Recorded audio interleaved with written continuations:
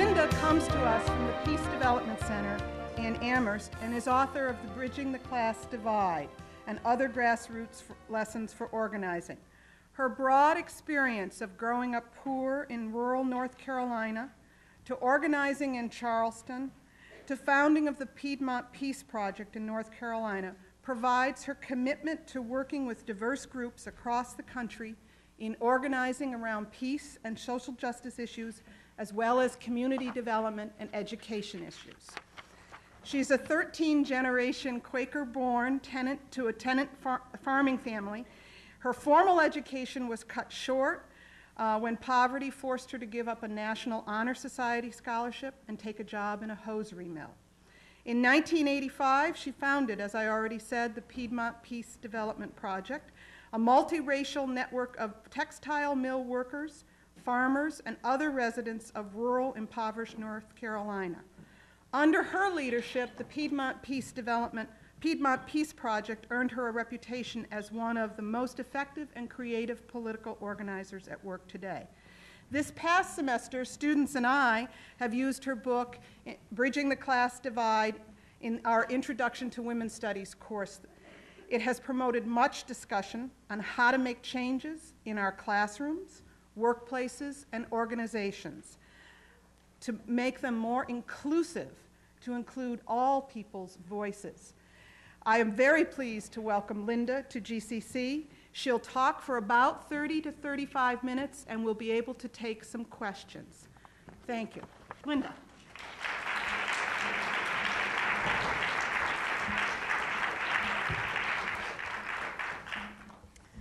Hi, I'm very honored uh, to be here and, uh, and was very excited coming on the campus. It's very beautiful here. I hadn't, hadn't been here before. Um, Wow. I, um, I, I, wanted to start by just um, kind of saying what's been going on for me recently because I, I feel like a lot of times um, those of us who stand up and talk about these issues, people think, wow, they've really got it together and uh, they really know what they're talking about and, and all of that stuff. And, and, you know, I find that I'm constantly getting thrown back into those struggles that that um, make me question, you know, if I'm doing things the right way and what's going on. And, and um, my mother is, actually dying now, and I, I talk about her a lot in, in the book early on and, and some of the struggles of growing up poor. And, um, and the thing that's really struck me, um, my mother is 65 and is dying of a rare immune system disease, which my father died of a rare immune system disease at the age of 52. And as a 44 year old who has an immune system disease, and both my younger sisters as well, I have to look at how other kinds of things are linked to class because growing up poor and growing up in environmentally unsafe regions, um, which is why all of my family and many of my friends now suffer from immune system diseases and are dying at early ages. And it makes me incredibly angry, but it also makes me understand even more what, how issues get linked from environmental issues to class issues to health issues, and how more and more we have to begin to look at those links to understand. And I think class is one of the things that that often is not looked at and, and why I decided to, to make that sort of my primary focus uh, to talk about, but real clearly understand that all of the, if we, if we just talk about class by itself, we'll never make change unless we link the issues of racism and sexism and homophobia and all of the things that impact us and, and as, as people. Um, and, you know, I, I often start to get hopeless, um, especially dealing with the family issues and health issues that I am right now, until I come to places like this and, and see groups out there doing the work that they're doing, and I understand, you know, why I'm doing this work and what's important. I want to start by just talking about what classism is, um, because I think it's a, a, often a very invisible force, a very invisible, destructive force. It is a system where people who have have power over those who do not. And when I say have, I'm talking about resources, money. Um, and I think often if you're a person who has those kinds of things, you never think of yourself as having power over others. You know, that's one of the insidious things about oppression.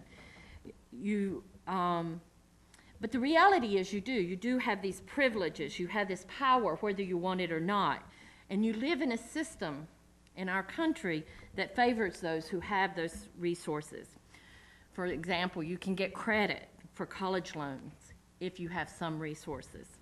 You can buy a car if you have credit without paying exorbitant interest rates.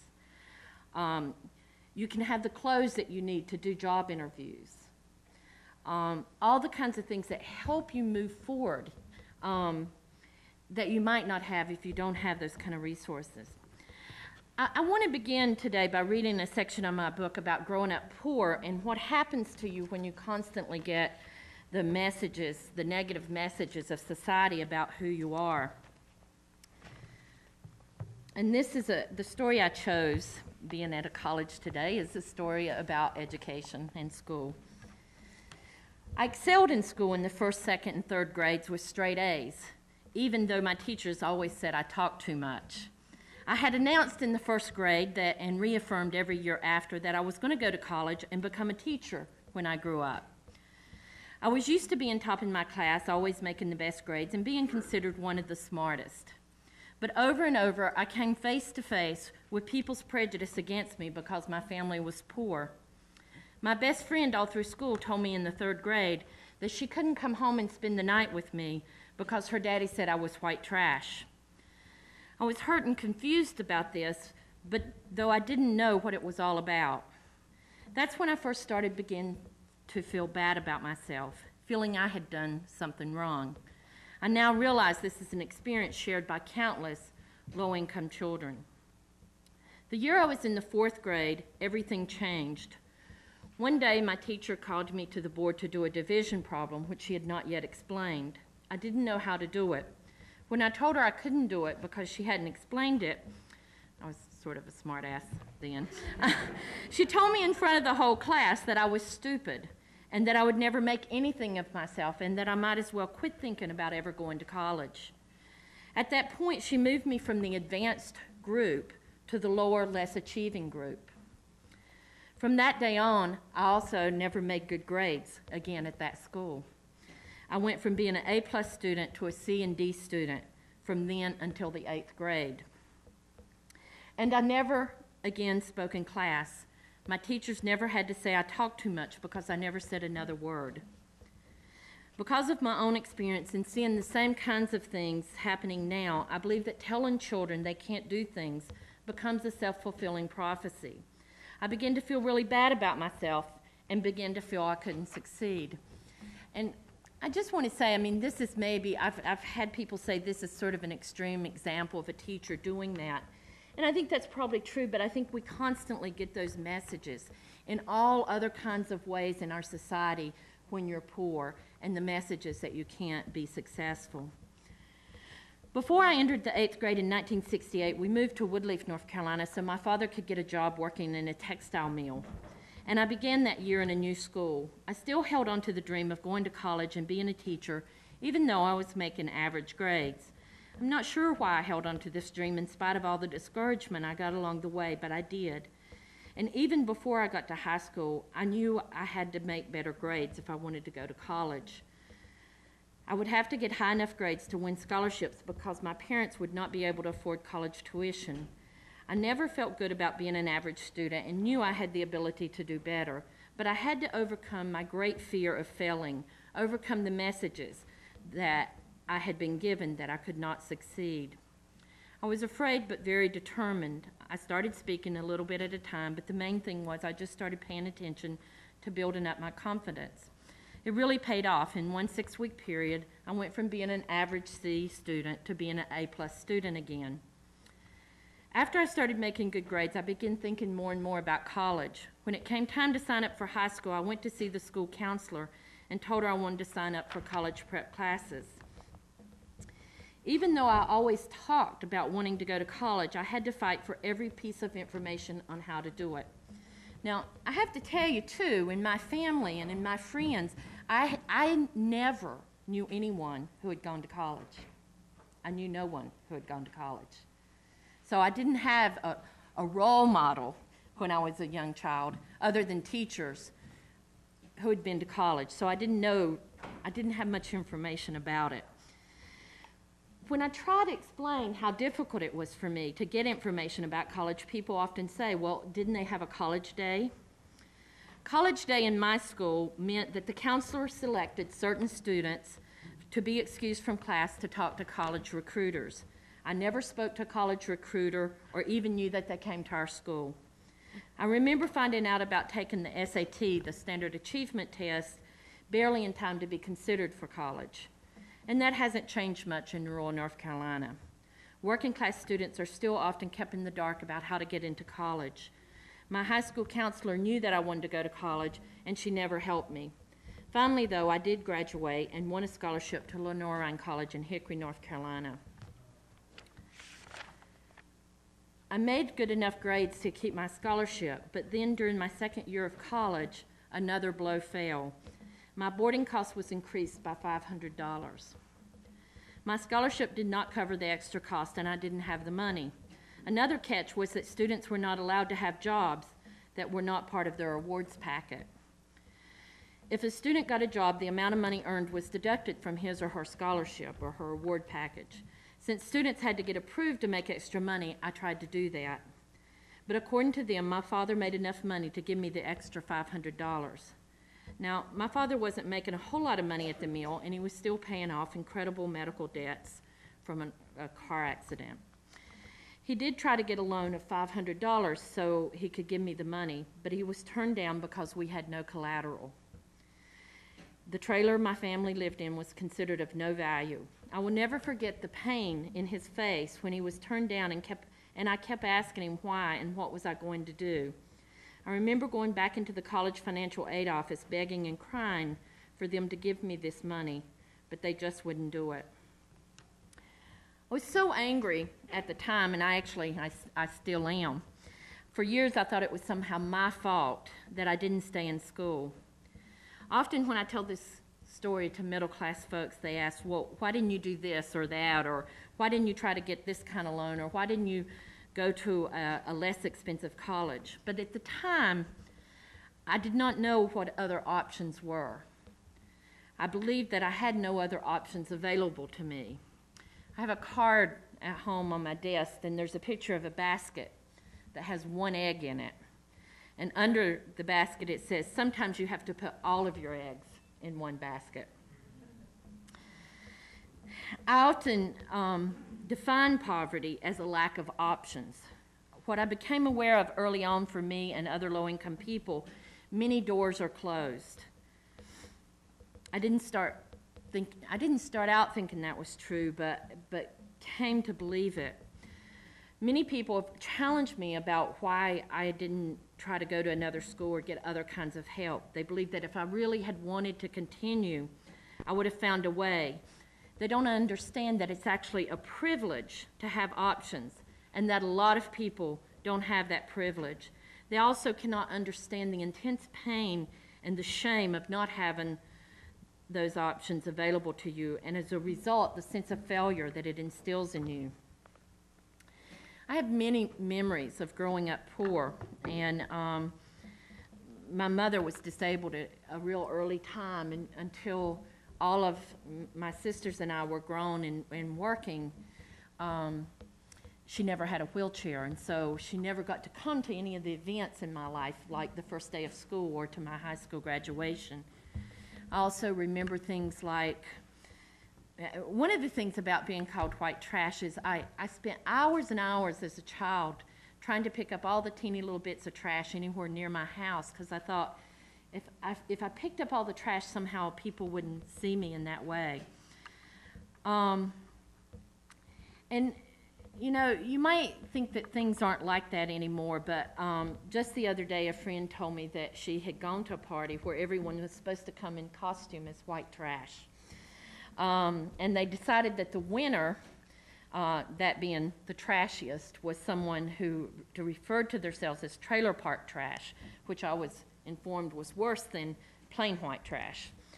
Um, and you know, for me, who actually thought that my family had taken a big step up the ladder of success when we moved to a trailer park uh, when I was in high school, it was very disturbing to hear that these kind of things actually still go on and still happen. So, how do we, who would like it to be different, continue to participate in a classist system? Um, and I want to talk a little bit about that because classism only exists because it has people who support it whether we do it unknowingly. And it's not just middle class people or wealthy people who participate in that system, it's also low income people. And I'm going to talk a little bit about that. Um, one of the ways we do this is what I refer to, um, well, I refer to these as invisible walls in my book. And I refer to them as that because I think a lot of oppression, as I've mentioned before, is invisible. And for those who are able, who, who have the privilege of moving forward, they often don't know that those invisible walls are there because the door's always open for them. And for those of us who the doors are always closed, we often don't know the walls are there too. So when we hit those walls, we kind of are like, what happened? There must be something wrong with me. And so I like, I'd like to describe it that way because I think it helps us begin to understand that there is something there that we have to begin to see and make visible for all of us. Um, one of those walls I, I, talk about is the wall of language. And I, I think this is a, a, particularly important one. When I was working as a, at a low income organization, um, we created educational pamphlets uh, for folks in our community because all of the materials that were put out by peace and justice and environmental groups were written for a college educated level. Now, in the low income community that I lived in, the average reading level for adults was third grade. Um, although I will say just that that was the way it was defined by sort of um, uh, popular educational, I mean, college educational, university educational uh, levels. What we learned was that if it was written in ways that people could really, in language that they were familiar with and understood, they could actually read at higher levels. But we began to develop our own materials and, and educational materials for folks, and we were developing a pamphlet on childcare. And we used a quote of a child on the front saying, Something's got to be wrong when the government spends so much money on the military and nothing on me. So we sent that in to the person who was doing our layout, and she corrected the sentence um, to say, I don't understand why the government spends so much money on the military and nothing on me. It was a very simple change, and to most people had no change of meaning. But it was a major difference for members in our community. Um, when our local members saw it, they were like, What do you mean we don't understand? Of course we understand. Do you think we're stupid or something?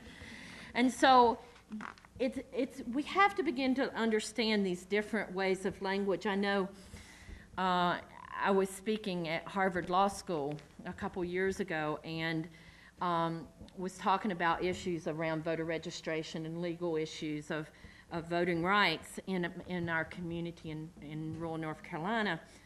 And um, after I finished, you know, there were like a couple hundred people, and, and this one man stands up and he says, You know, this was very interesting and I learned a lot, but you would be much more effective if you learned to speak proper grammar.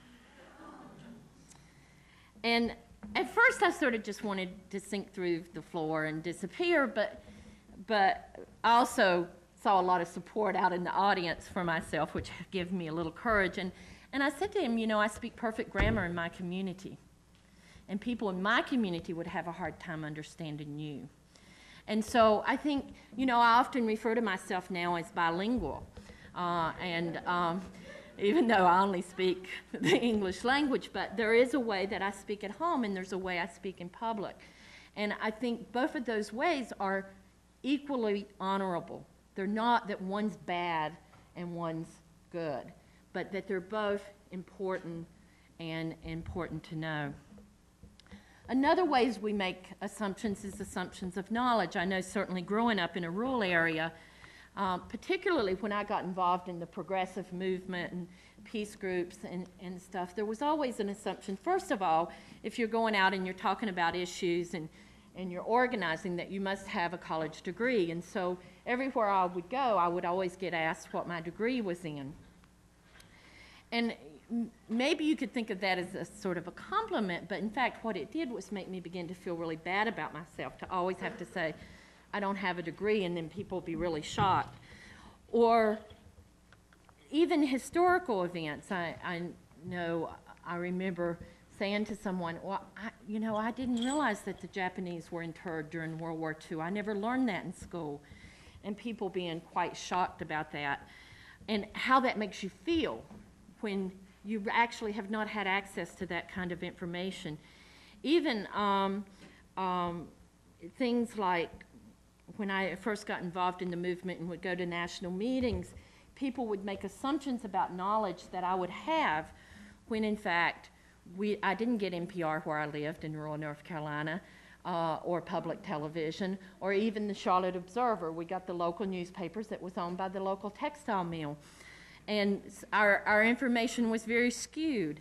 And so a lot of times we hear people, you know, I especially hear it up here, how can those ignorant people vote for Jesse Helms when it's against their own self-interest? Well, you know, it depends on what people's sources of information are and education. You may support Jesse Helms, I don't know, but, but, um, but that's an example of the kinds of things that without education, without knowledge, without understanding, we make, a, we make assumptions about people. Other kinds of th- things, and I, I can't go into all the walls, I've got to move on, but, but some others is I often hear people say, well, you know, we invited those people over there and they just wouldn't come. You know, we hear this about people of color, we hear this about poor people. It's like, well, we invited them, they didn't come. Too bad, it's not our problem without often wondering about, without thinking about cultural differences, about transportation, about childcare, about meeting formats, about even things like times of meetings. Um, there was a, a, a peace group that started, and they were all people who'd moved in from outside of the region in one of the counties in rural North Carolina, and they said, you know, we keep inviting all the farmers around here, and they never come. And I was like, well, what time are you having your meetings? you know, because they were, they were inviting people at the most important time when people were in the harvesting, or inviting mill workers to come in at 8 o'clock at night meeting when mill workers' schedules are 5 in the morning to 3 in the afternoon. And to have a meeting, you have to invite people at 5 at p.m. So just even things like that that we have to begin to think about and look at. But before we can do any of those kinds of things, before we can begin to acknowledge those walls, we have to first acknowledge that they even exist. Um, I know um, the, I've often um, heard classism referred to as America's dirty little secret. It's just not acknowledged publicly in so many ways, and that's why it's so exciting to me to be. I was at UMass a couple weeks ago where they had had a whole week on class, and it's just really exciting to see colleges begin to look at that issue and take it on.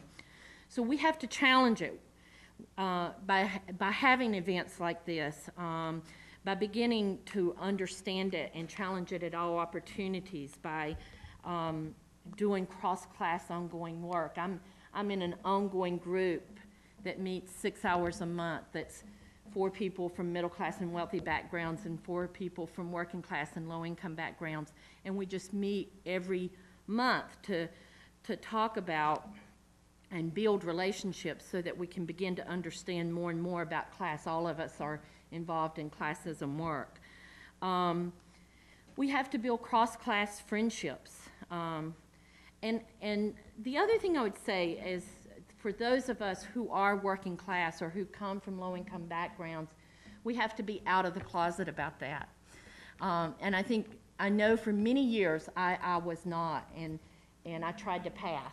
And, And there's some cases where you need to pass. You know, there's sometimes when you're in a job interview and those kind of things you need to pass. But we have to really be, we, we feed into the system when we do that. And we have to be able to stand up and say, yeah, I was poor, but that doesn't mean I'm stupid. It doesn't mean I was a bad person. I can be proud of who I was. Maybe not like the fact I grew up in poverty, but I can be proud of me, of who I am. And we have to play a role in helping change people's attitudes about class. Um, we also have to change it by focusing on social change. Um, a lot of people in organizations confuse the issue of social service and social change, so I want to talk about that just a second. Too often, people try to deal with whatever problem is at hand um, with what I refer to as band aids. And I don't want to, I'm not putting it down. Social service is very important. My family has benefited at times over the years from it. But it is an issue of dealing with the symptoms of social problems rather than the causes. And, and it's very tempting for us to do this kind of thing. It's much easier to respond to someone on the street who's hungry than to think about how do we change legislation at the, at the national level so these, these issues don't exist. And we and, but we have to figure out how to do that. Um, a woman who I greatly admire, Kip Tiernan um, of Rosie's Place in Boston, a woman's shelter in Boston, um, tells it like this. She says that women are so busy trying to pull the babies that are drowning out of the river that they never stop to go to the top of the head of the river to see who's throwing them in in the first place. And I think that's what I'm trying to talk about when I say we have to think about social change. Uh, it's the difference in giving poor people something or, um, which is important. I want to be clear that that's important, but that's not all that's needed. But it's, and it stops short of changing the systematic oppression that is the root of the problem. Social service is not the same as organizing for social change, and it doesn't result in social change. Um, so when I talk about the work I'm involved in, what I do is social change work, and we work to support groups that are doing social change work. Um, and often, I, you know, I, one of the things I do is also fundraise for, for the groups that do this kind of work. And often people say, oh, I, I support work for the homeless, or I, I give for hunger, because they think it's the same thing as social change organizing. But it's not. And it, it's really, it's the difference in helping poor people by giving them money or, give, and, or giving poor people the power to help themselves and believing that they are capable of helping themselves. That's the difference. The other thing we must do um, is work across race and class lines. And no one group can really make change by themselves. Uh, unless we're willing to organize across race and class lines, I don't think we'll ever have the numbers or the power to make really effective changes in this country. Uh, we've seen lots of movements that have proven this. The women's movement, for example, has not been as successful as it could because it has failed to build a broad majority, um, a broad majority base of women across class and race lines. Um, so the question is, what can we do about it? Um, and I guess the first question we have to ask ourselves is, do we want to do anything about it? Um, we're often moved when we see people who are hungry and homeless, but do we really want to look deeper at what's causing these problems? Are we willing to make the changes personally that it would take to eliminate poverty and injustice? I would like everybody uh, to do a little exercise here. So I want to ask you to think about 25 years from now and what kind of world you would like to be living in. So, in order to do that, the first thing I want you to think about is what your age is now and add 25 years to it. I'll be 69, so. And, and then I want you to think of a child in your life. It could be a grandchild, it could be a niece or nephew or godchild, or, or just a friend's child, or it might even be a child that you want to have in the future and think about what their age will be in 25 years from now.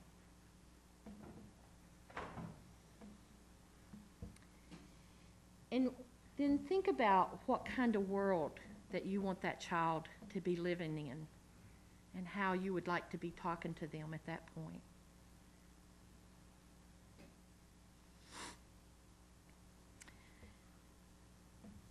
And I thought, what, I would do, and, and that's a, a- that's a lot to think about, by the way. You may need to leave and take a weekend to think about that, which I actually do that exercise every year for- on a retreat.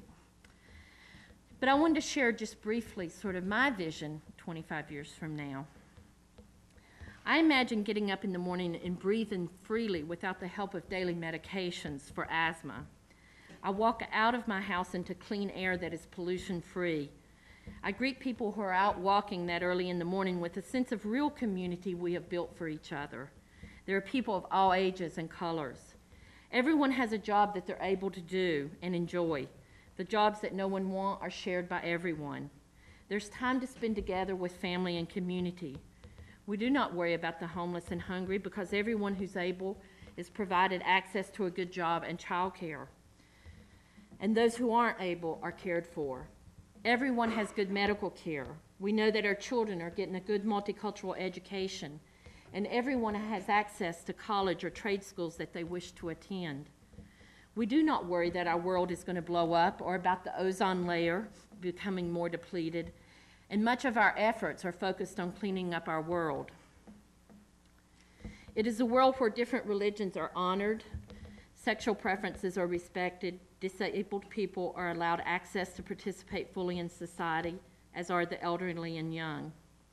We live in a democracy where everyone's voices are heard and everyone has the, share, has the opportunity to share in leadership. It's a great vision, and, and uh, maybe you think it's too idealistic. I've been told I'm too idealistic. But I think where we're currently headed is really the opposite of that vision. Uh, violence is continuing to grow in our country every day. We have the capacity to destroy the world many times over, both with nuclear weapons and chemicals. Our environment is so polluted that more people are dying today from breathing disorders, even despite major advances in the medical world. And we see a greater and greater disparity every day between the rich and the poor. And no one, almost no one, I mean, it's, if you look at every poll that's taken, almost no one believes that the political system really works for us anymore.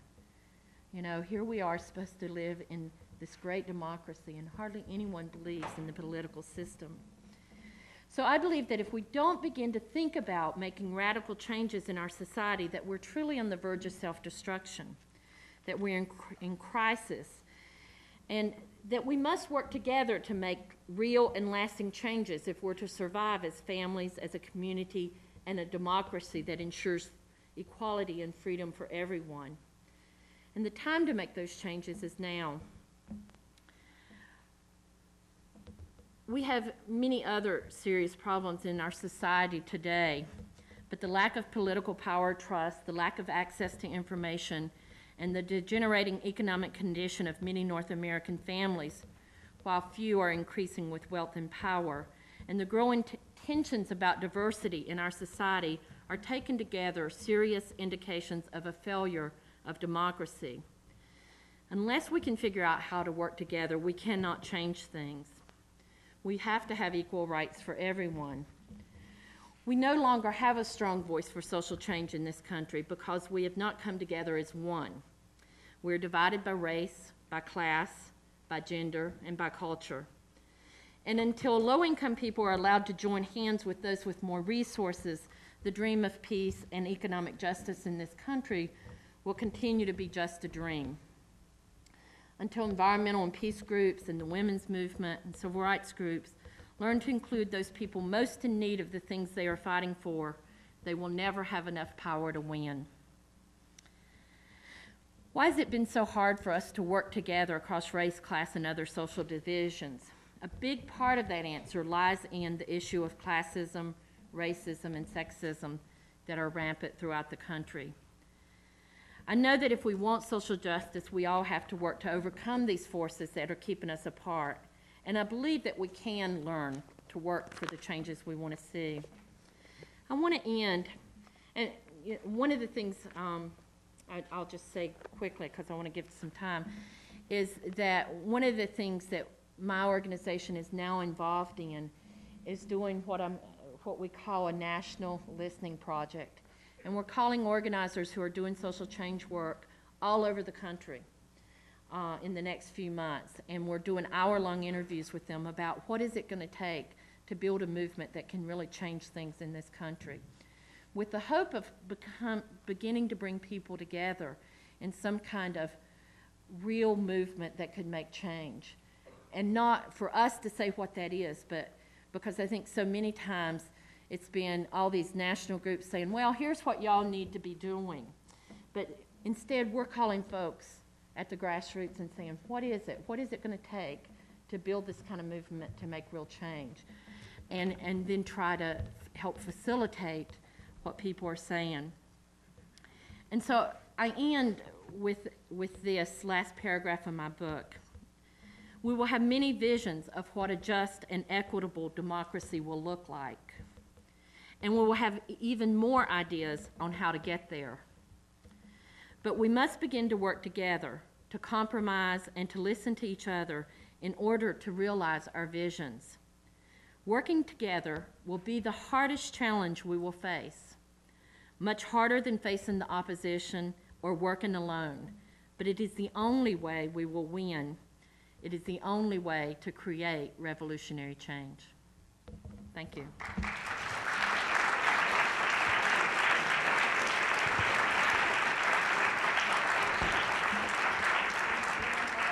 You want to moderate the questions? Sure. fine.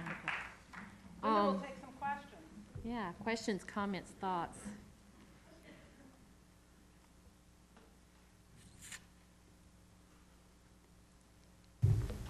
part that overwhelms me when I think about trying to kind of transition in a more egalitarian society is how to do that when the captain's conscious, because it seems to me that that's intrinsically conscious. And that's where I start feeling like it gets so big that it becomes hard to believe. And I look at how you. I, I think it is very big and, and very scary, but there are a lot of people, even within, even people within capitalism, economists and other folks, who are looking at really alternative ways of, of thinking about how to do that in a more equal and egalitarian way. And I, you know, I certainly know that within my movement, there's people who believe in reform of capitalism to people who believe in we have to get rid of capitalism totally, which I tend to, to agree with at times. But I think there's a lot of room in there for trying to figure it out. And I do believe that there is a majority of people who don't currently have a voice in, in this country um, that we have a majority of people and, and that that's the way we will be able to make change by mobilizing those things. I think if we try to think about doing it by ourselves, it's incredibly overwhelming. Um, but if we can think about what it means to try to make change, I mean, you know, I know when I first started working in, in Piedmont, North Carolina, people said, you have got to be crazy. You know, it's the Ku Klux Klan was, you know, it's the hotbed of, of Klan. We had Klan paramilitary training camps. We had junior Klan groups in the high schools. Um, it was, um, uh, and the buckle of the Bible Belt, and, and people said, there's no way you can make change here. And yet we did. We made incredible changes just by organizing one by one and beginning to join together to, to really challenge that system of, of, um, of power. And part of my reason for even ever leaving there, leaving North Carolina, which is my home, all my, I mean, you know, I was born there, born and bred, as we say in the South, um, was because I felt like if we could do it there, in one of the most conservative, most oppositional places in the country, that then we should be able to join together and make changes on a much broader level. And, um, yeah, but I, I think, I think a lot of us feel really isolated, and unless we can work together, uh, to figure it out, we, we can't make that change.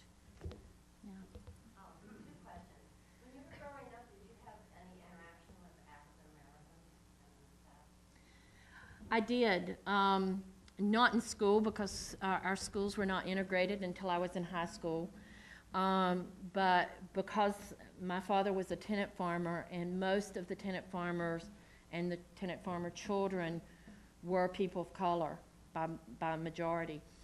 Um, so I did have that connection and um, was fortunate to, to, which is kind of unusual in the South, I think, to have parents who uh, were very open and, and, and taught us, you know, not to um, reject people um, and to be open to all people. And not that that, I, I want to be clear about saying that because I, I, it's real easy to say, oh, well, I grew up being, being told you can't be racist, or I grew up non-racist. That's not true because you grow up in this society, you're automatically racist, and you get these messages.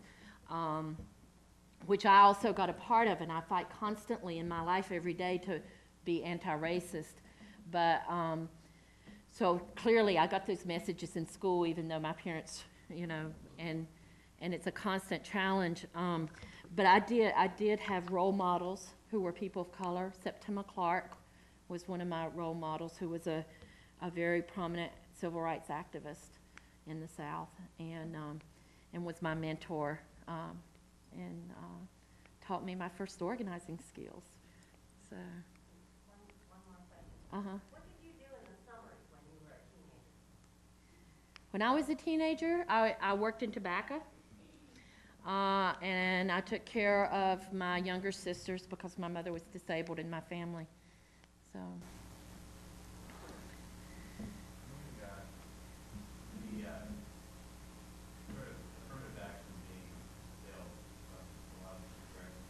One of the directions that is proposed is moving toward, uh, class-based approach to affirmative action, which, uh, people would qualify for affirmative action on the basis of, um, class type variables, based rather than, um, racial.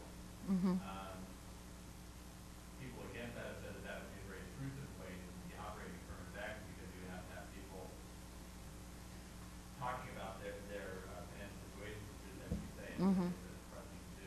I just wondered if you have any thoughts on that. Wow, I, you know, I, I think one of the things I think that often gets missed in affirmative action is that we all, that often we don't understand that that also includes providing the kind of education and training levels for people who have not had the opportunities. I certainly uh, feel like there's probably ways to add that to some of the affirmative action work and programs. I don't think it's a substitute because I think even if you're low income and white, you still have advantages over a low income person who has, who's a person of color. You still have the, the skin, the white skin privilege. And so that's something we have to be aware of. And, and it's really hard when, you, when you're low income. And I know we, we deal a lot with low income white men in, in my work. And, and it's like, to understand, for them to understand that they have privilege is like just beyond their comprehension. And, um, and we have to, we have to talk about it in a lot of ways because it's, it's very, I mean, you know, and a lot of things that are identified as, as race issues is also class issues. It's very interlinked and, and very confused. But, and, and I do think that there is a real problem if it requires people to have to say, stand up and say, well, yes, I'm poor, because there's such a stigma and shame attached to that because of the way society has been uh, with internalized oppression. Yeah. Uh,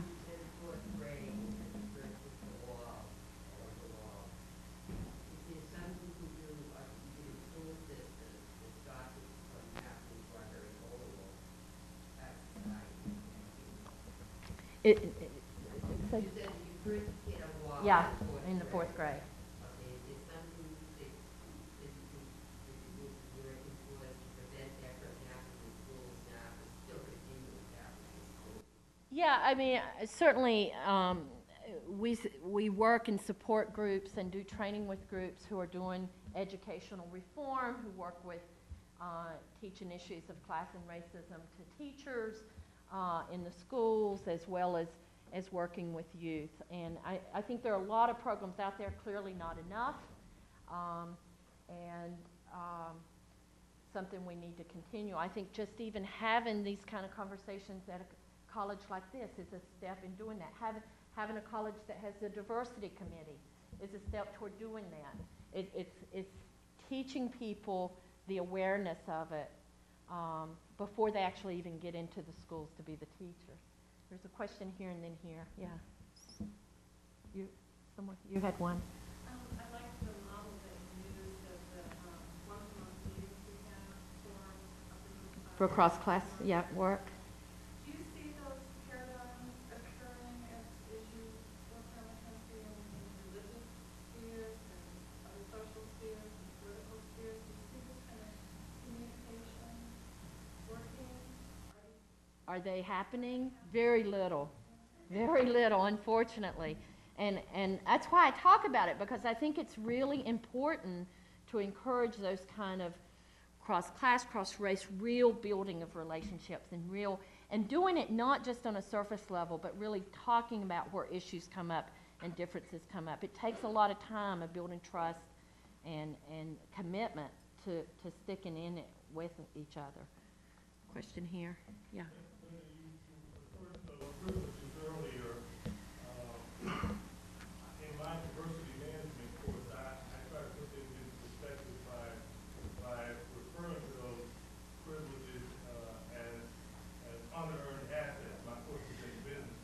Uh-huh, that's great.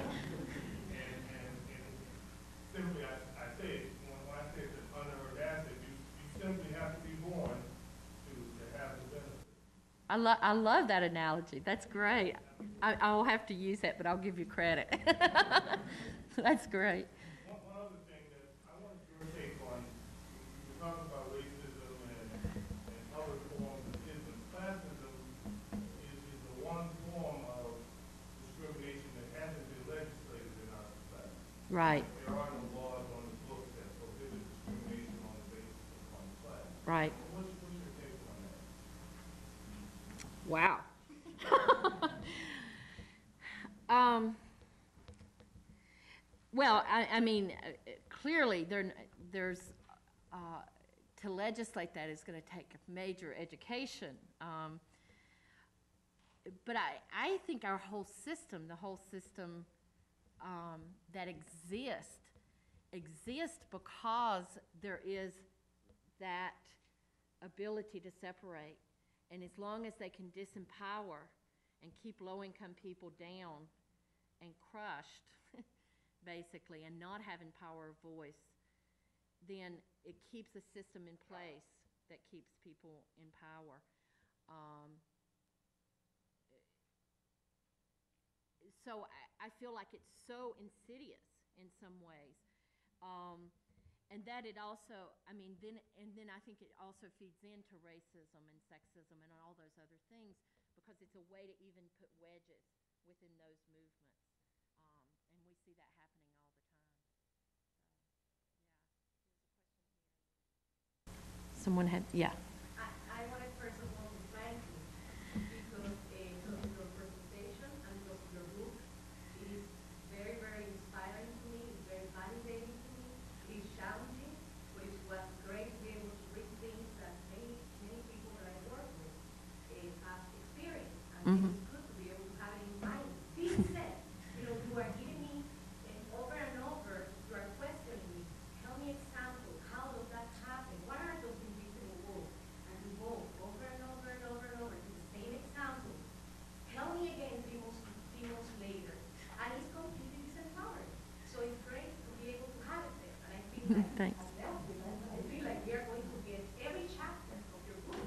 And one by one, you know, I was getting that from, from her, like, talk about it. Yeah. And, and analyze it and bring our own experience to it.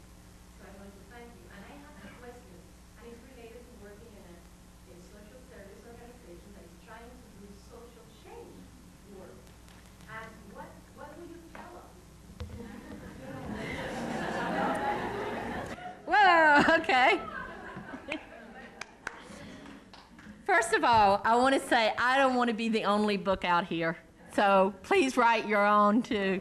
I didn't believe I could do it. I never thought I could write. When I started doing organizing, I said I would do everything but write and raise money. And just to say, I raise a million and a half dollars a year now for organizations. So I do both.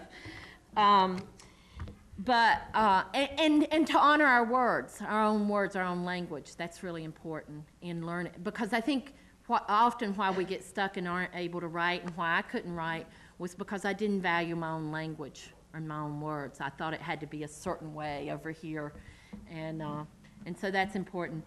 Social service doing social change work, I think, is absolutely critical and and it is a very valuable thing. It's complicated. It's very complicated.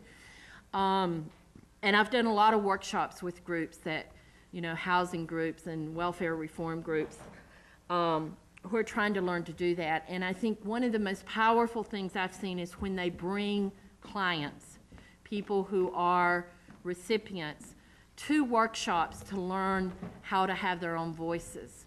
Um, and, and that's really important. And how do they get to be a part of the decision making?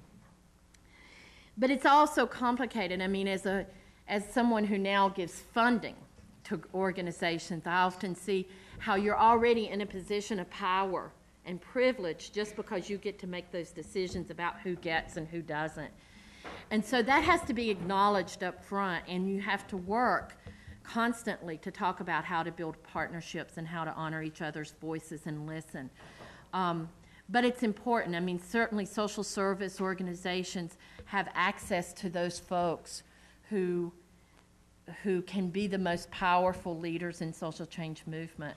And, and I, I think one of the hardest pieces is the balance. You know, the balance of, you know, do we work on this piece of welfare reform or do we work on the organizing piece here of really helping people find their voices and how do you keep that balance?